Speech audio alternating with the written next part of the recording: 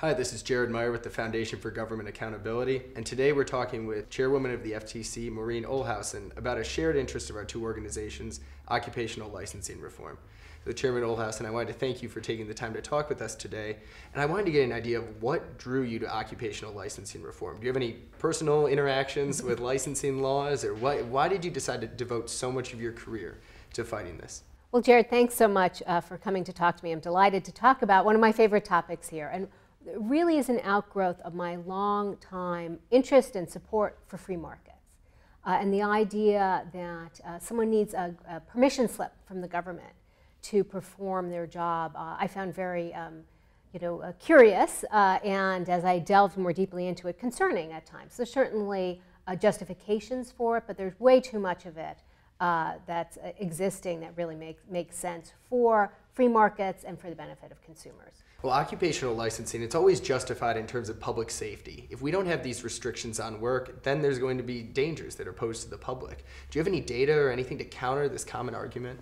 So that is a common argument. And the fact that the FTC has both consumer protection and competition expertise, I think makes us perfectly positioned to talk about it. Because we do care about consumers. We care about safety. We care about their well-being. But so many of these licenses are not based on justifiable health and safety concerns. So one of the data points that I look to is the fact that there are about 60 occupations that are licensed in every state. But there are over 1,100 occupations that have a license in at least one state. So that, that's kind of a, a, very wide swing between those two, those two areas. So I think that's, that's one of the data points. If you have states, many states that don't require an occupational license to practice this, I think that gives you an idea that maybe it really isn't health or safety related. And oftentimes it's kind of obvious on their face when we're looking at things that involve floral design, uh, interior decorating, hair braiding. It's so obvious that there really isn't a health or safety um, a nexus to that. And I've even seen on the local level, cities like Detroit, they license 60 additional occupations. So 30 of those, the city or the state of Michigan doesn't license at all, yet Detroit decides to license them, and 30 other ones they have higher standards. So when we throw in city and local or county level occupational licensing on top of states, it's really high barriers to work for a lot of people.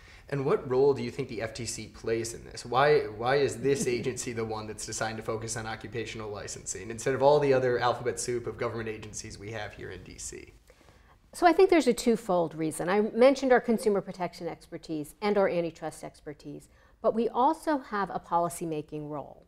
And that is really where this was an outgrowth of. So we've got um, a competition advocacy program that I used to head, and we have filed hundreds of comments with state and uh, local officials and sometimes municipal level officials about uh, whether we think the regulation, the occupational license they're proposing is really good for consumers. So I think uh, that's been a very important reason why the FTC has been involved.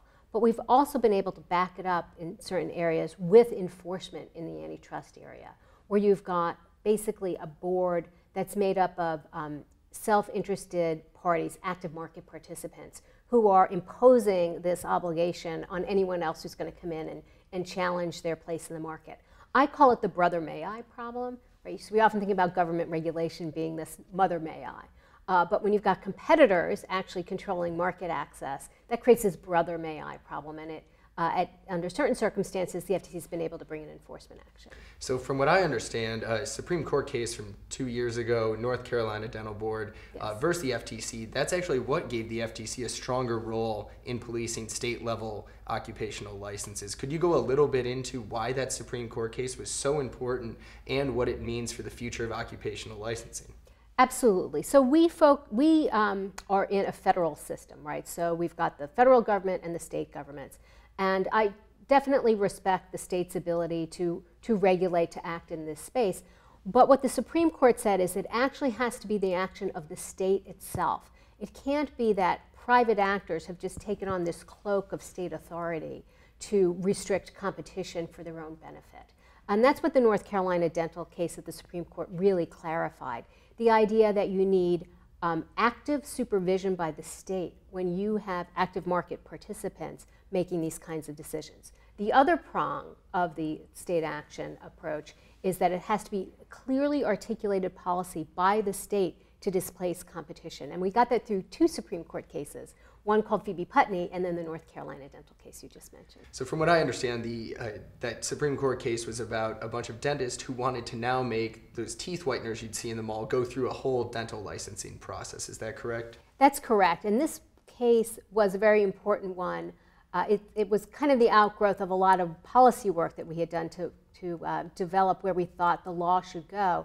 And then this case was an opportunity to actually bring it to fruition. And so we had this opportunity where the State Board of Dentists had decided that uh, tooth whiteners needed to also have dental licenses. And they actually went out and contacted um, uh, malls and other uh, shopping centers and said, oh, you can't have these tooth whiteners in here. Uh, that's the unauthorized practice of dentistry. And so it was one of those things where we said, look, there's not really a health or safety requirement. Almost all other states, I think 48, you know, 49 other states, permitted tooth whitening without any kind of license. So it was a, kind of one of those very clear examples. The, and the state itself wasn't actively supervising this board of dentists, who I believe were acting in their own um, economic interests. Uh, the, the FTC playing a role can help rebalance that, but also just making state officials aware of this dynamic. Just because someone is coming in and saying, oh, you know, all of us, you know, uh, florists have gotten together and we want to have a license, you know, think about that. Is that really good, good for consumers? Yeah, is there a reason we need people taking like two flowers, putting them together and selling it? Is there a reason we need them to have a license? Exactly, exactly. And I know in Louisiana, the pass rate for the Louisiana florist exam is half that of the pass rate for the Louisiana bar exam.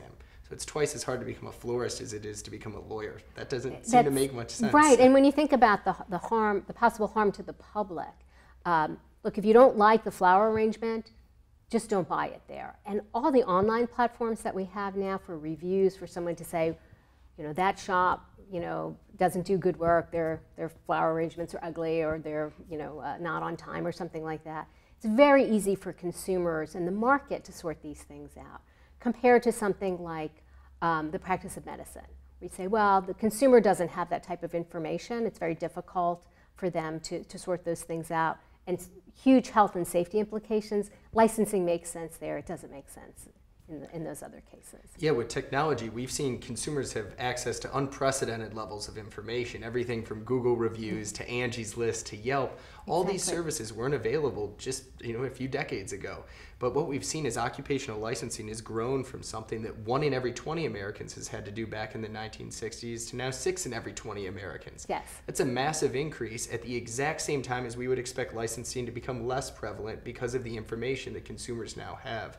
What do you think the role of technology will play in as uh, policymakers try to understand how to best create an occupational licensing framework? I hope that they'll understand that. I, you know, talked about free the free market, kind of what brought me to this and market forces and technology can play a role in sharpening those market forces by putting more information in, into the marketplace, more forms, new forms of competition, better competition into the marketplace, that um, state officials think about how competition can provide these benefits, quality assurance to consumers, price competition, availability, all the kinds of things that we, we want to see consumers get through a market and say, well, before we interfere with the market's ability to do that, is it really, really necessary? Is this going to be a better outcome for consumers? Uh, let me mention a case that actually preceded the North Carolina dental case. It was a South Carolina dental. It ended up being a settlement. But that was a case where, uh, in the state of South Carolina, the state had changed its laws to allow um, dental hygienists to go and screen poor children in schools, give them a cleaning, give them a, a fluoride treatment. And the dental board went and uh, enacted an emergency regulation that said, no, no, no, it has to be dentists that oversee that and dentists that do that. So that was another area where you had uh, a licensed profession of the, um, the dental hygienists who were perfectly capable and qualified to provide this level of care. But you had the, the dentists who had the higher license coming in and using the state, um, the state regulatory apparatus to fence out those competitors. That's a crazy story because the, the, lawmakers passed an explicit bill saying this should be allowed, yet the board, because they've grown so unaccountable or almost feeling as if they can do whatever they want, stepped in to take away care from needy students. I, I yes. find examples like that just crazy. Yeah, the facts, uh, you know, uh, were uh, very uh, appealing for our, for our side, and eventually we did settle settle the case because it was like the poorest children who needed this kind of screening in school and they weren't getting the care that they needed and it had a, a big impact uh, on their on their health. I've also noticed on the FTC's website you've now created an economic liberty task force. Uh, could you talk a little bit about why you're excited about this and what it means for the FTC to be using the bully pulpit and really being a public advocate for competition and for freeing up opportunity? I'm, del I'm delighted to talk about this. This is my first project as the acting chairman was to announce uh, the Economic Liberty Task Force because I think we're at a great um, we have a great opportunity to work with states and other policymakers to try to move economic liberty forward, to try to reduce some of these government barriers to job growth, to competition, to enhance consumer services. So we are working with states uh, to identify these kinds of regulations to say don't enact them or get rid of them or you know have them be targeted appropriately. Uh, so I want to be um, a, a, resource for states because we have a lot of expertise uh, in this in this field. Yeah, and I've seen some promising movements in states like Tennessee, Arizona, Michigan, Delaware. I mean, the, the list goes on. There's definitely a growing momentum for occupational licensing reform. And what advice, as a policymaker, would you give state level policymakers as they try to tackle this challenge? Because as we talked about, it's going to be difficult. There's going to be a lot of special interests, mm-hmm. they're going to get a lot of pushback. How can they best message that we need increased opportunity through decreased levels of licensing? So I think the, the best way for them to do it is first cast a kind of skeptical eye over new proposals for, for, um, for licensing and say, well, is this really related to health and safety? Is this something we need? And then if it is related to that and we need it, is it stricter than it needs to be? Again, going back to the example of allowing the hygienists to you know, examine uh, you know, poor children's teeth. Do we really need the, you know, a dentist to do that versus a hygienist or can, or for example, in, in other settings like allowing the nurse practitioner to practice in the big box retailer to, to give the, you know, the ear, you know, you've got an earache, you need a flu shot, things like, things like that. So I think that's important. And there is some evidence out there about the benefits to consumers of allowing this type of um, uh, competition to flourish. So I think that they could, they could draw upon that. Um, also, the FTC website has a lot of research uh, on these topics that they can draw upon about the benefits to competition, to consumers, uh, and what other states have done in, in this field. So I think uh, as, they're, as they're working through these issues, please, they should consider the FTC to be a partner and a resource in this.